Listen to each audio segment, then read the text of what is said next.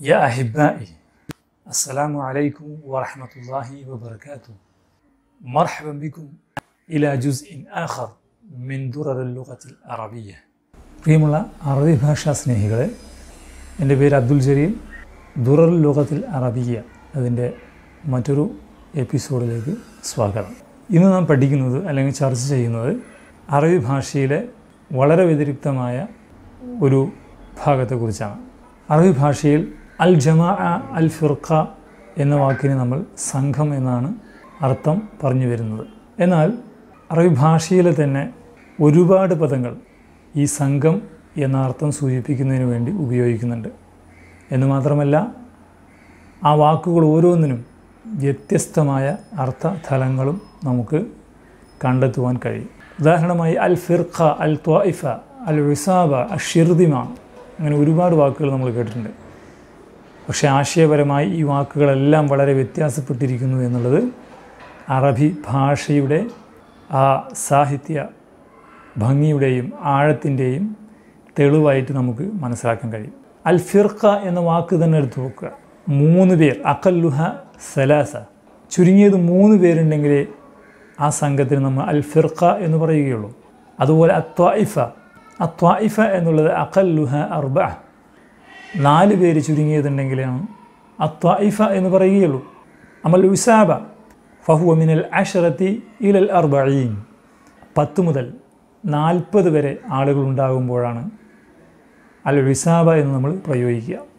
മറ്റൊരു വാക്ക് അഷിർദിമ അത്വൈഫത്തുൽ ഖലീല. അതായത് ചെറിയൊരു സംഘത്തിനാണ് അഷിർദിമ എന്ന് പറയുക. ഹദീസുകളിലൊക്കെ ഉപയോഗിച്ചായി നമുക്ക് കാണുവാൻ കാണുവാൻ സാധിക്കും.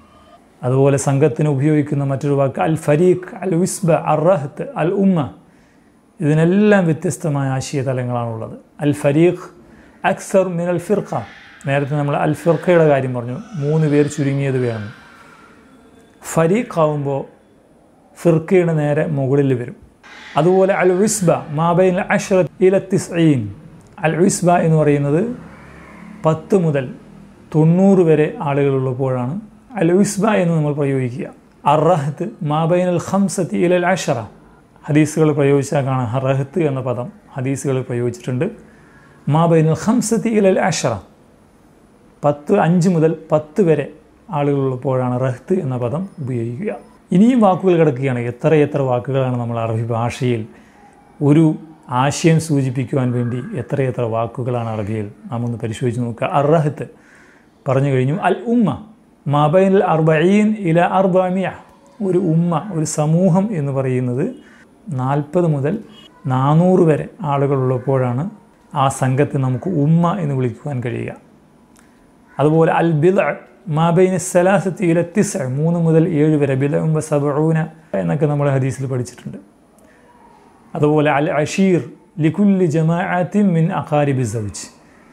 ഭർത്താവിന്റെ കുടുംബക്കാരിൽപ്പെട്ട എല്ലാ സംഘത്തെയും നമ്മൾ അൽ അഷീർ എന്നാണ് പറയുക. അതുപോലെ അൽ മൈഷർ അൽ ജമാഅത്തുൽ അസീമ. യാ മൈഷർ അൽ മിനീൻ. വലിയ സംഘമുണ്ടാകുമ്പോഴാണ് അൽ ജമാഅത്തുൽ അലീമ അപ്പോഴാണ് അൽ മൈഷർ എന്ന് പ്രയോഗിക്കുക. അതുപോലെ അൽ മൗക്കിബ്. അൽ ജമാഅത്തുൽ അസീമ റുക്ബാനൻ ഔ മുഷാത്ത. വലിയ സംഘമുണ്ടാവണം. പക്ഷേ അവർ നടന്നും സഞ്ചരിച്ചും പോകുന്ന സംഘത്തെ ആണ് അൽ മൗക്കിബ് എന്ന് പറയുക. ഹദീസുകൾ ഉപയോഗിച്ചിട്ടുണ്ട്. പദ്യങ്ങൾ പദ്യങ്ങളിൽ ഉപയോഗിച്ചതായി നമുക്ക് കാണുവാൻ കഴിയും. അതുപോലെ മറ്റൊരു പദം എന്നുള്ളത് അൽ ഫൗജ് അൽ ജമാഅത്തുൽ മാറ. വിശുദ്ധ ഖുർആാനിൽ ഇദാജ അനസുറുല്ലാഹി വൽ ഫതഹ് വറഅയ്ത അന്നാസ യദ്ഖുലൂന ഫീ അഫ്വാജ.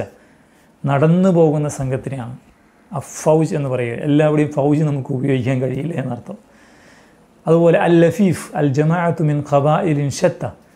വ്യത്യസ്ത ഗോത്ര സമൂഹങ്ങളിൽപ്പെട്ട സംഘത്തെയാണ് ലഫീഫ് എന്ന് പറയുക. വിശുദ്ധ അപ്പോൾ അറബി ഭാഷയുടെ ഒരു ആശയ ഗാംഭീര്യം നമ്മൾ പരിശോധിച്ച് നോക്കുക. ഓരോ പദത്തിനും ഓരോ വ്യത്യസ്തതായ അർത്ഥതലമാണുള്ളത്. നമ്മളെല്ലാത്തിനും സംഘം എന്നാണ് നമ്മൾ പഠിച്ചു വെച്ചിട്ടുള്ളത്. അപ്പോൾ ഈ തരത്തിലുള്ള നല്ല നല്ല അറബിക് നുറുങ്ങുകൾ ഇനിയും നിങ്ങൾക്ക് കേൾക്കുവാനും കാണുവാനും നിങ്ങൾ ആഗ്രഹിക്കുന്നുണ്ടെങ്കിൽ തീർച്ചയായും ഈ ചാനൽ സബ്സ്ക്രൈബ് ചെയ്യുക. ഈ വീഡിയോ നിങ്ങൾക്ക് ഇഷ്ടമായ ലൈക്ക് ചെയ്യുക സുഹൃത്തുക്കൾക്ക് അയച്ചു കൊടുക്കുക. അസ്സലാമു അലൈക്കും വറഹമത്തല്ലാഹി വബർക്കാത്തു